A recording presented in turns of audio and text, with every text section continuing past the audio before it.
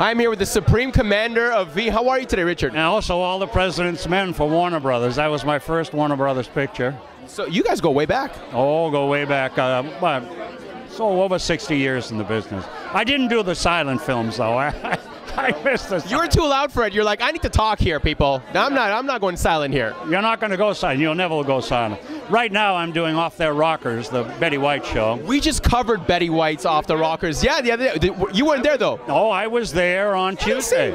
I w- you know why? I passed you. You had your back turned, and you were talking to.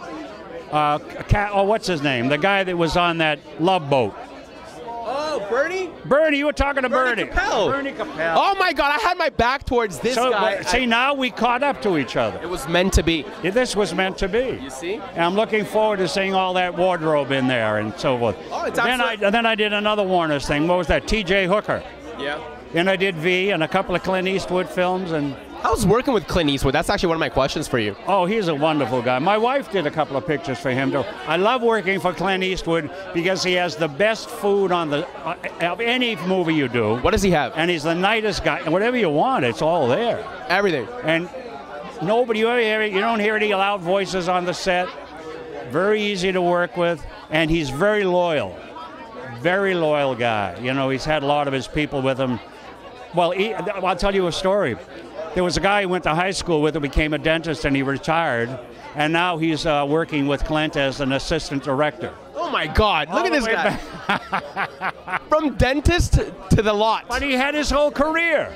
And he, they ran into each other one day and said, What are you doing? He, I he said, Well, you, come on, come on. So he started at the bottom and loves it. He got him out of the house. You know, that's what it's all about. It is. That's what it's all about. Gotta get out of the house, man. So, what do you get out of the house for when you go out? What are you doing on the weekends? uh, what I do on the weekend, I go to, I go to, uh, I, uh, I was at the Art Students League for a while. I paint, I sculpt, I, I weld a bit.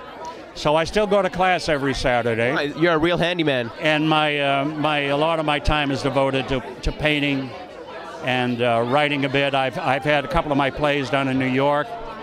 Uh, I've had a play done at the Abbey Theatre in Dublin, Ireland. So when I'm not doing this, I have plenty to do. I play in the sandbox. I, I Richard, you're. I'm gonna brush the dirt off your shoulder. You're such a busy guy. You do the same thing. Play in the sandbox. Play in the sandbox. I always play in Yeah, but you're young now. You you haven't got time for that. My mom always gets me in trouble because she says I bring sand into the house. And whatever buck you make, put 10% aside for the old man. Look out for your future. Richard Herd, we're watching SL TV, and you watch it too.